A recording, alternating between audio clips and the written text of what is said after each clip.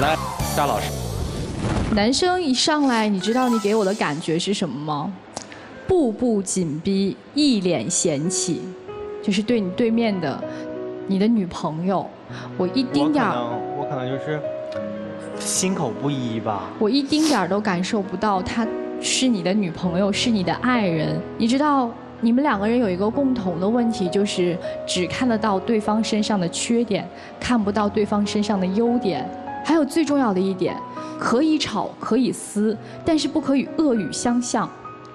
你知道，往往伤害我们的不是说身边那些冷漠的人，而是最亲近的枕边人的恶意相向。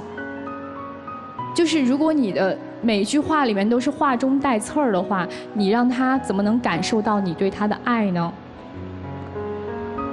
所以我觉得你们两个人现在就像要在一个身上拔刺，这个是很痛的，可是这个刺扎的。深了以后，它嵌进你的身体里以后，它本身就是一个异物。到底爱不爱你们自己心里清楚。你都已经用“可能”这个词儿了，那是什么样的感情？你应该自己心里明白。所以就是拔刺的一个过程。如果都放开了，是不是对彼此都好？如果要在一起的话，就好好吵架，多为对方着想，不要太把自己的个人利益放大化。谢谢。好，谢谢沙老师。来，刘总，男孩刚才说了一句话，叫“心口不一”。